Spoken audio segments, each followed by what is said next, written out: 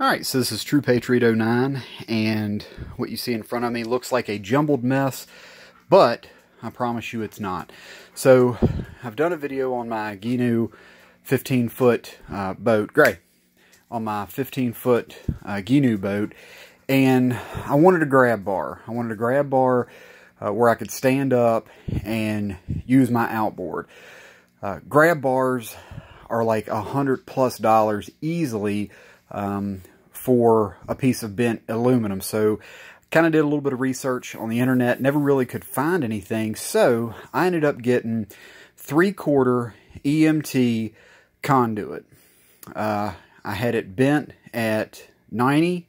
I've got a three quarter uh, coupler here that I've just got taped up. It looks rough right now, but I'm going to fix that.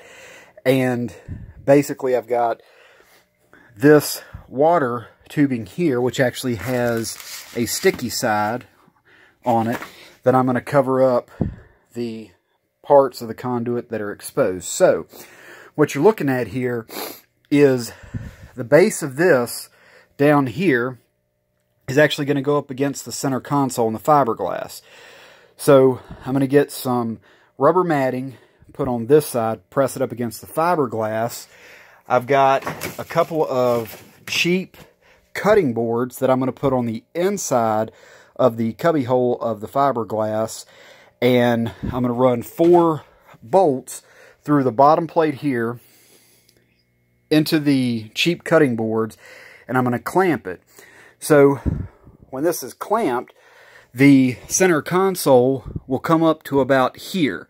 So now I have a throw bag. You know, you're required to have a throw bag or a throw flotation device. So what I did with that is I got treated 1 by 6 uh, an 8-foot piece of treated 1 by 6 I used clamps on the back side of it. So go ahead and turn it around.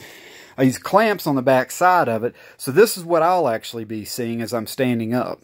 So what I'm going to do is I took some PVC, made rod holders there, took a larger piece of PVC, put a carabiner, and I've got my pliers and things, and I've got a net and things that I can put out of that.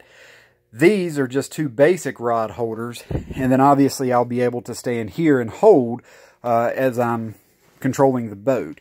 Now, with the throw bag, the way I did this is I used Velcro. So I Velcroed that throw bag to the back of that. So now when somebody sits in the center console, they actually have something padded to sit up against. And if the throw bag is needed, I'm right there uh, at the controls, or if someone is seated, to actually grab this. And you can see the Velcro uh, in behind it there. And it basically just pulls right off.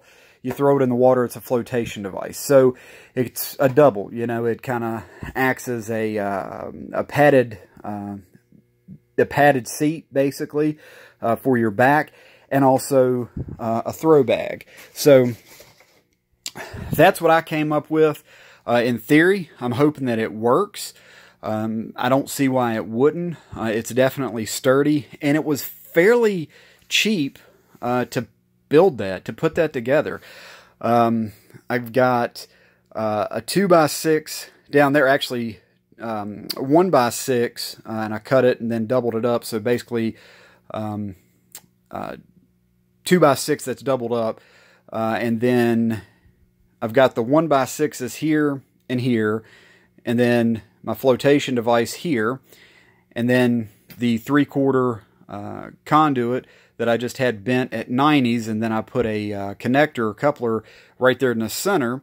Uh, so that way during the wintertime, uh, when I store the boat, what I'm going to do is also cut the bottom down here eventually and get two couplers. That way I can take that off and it's not sitting outside.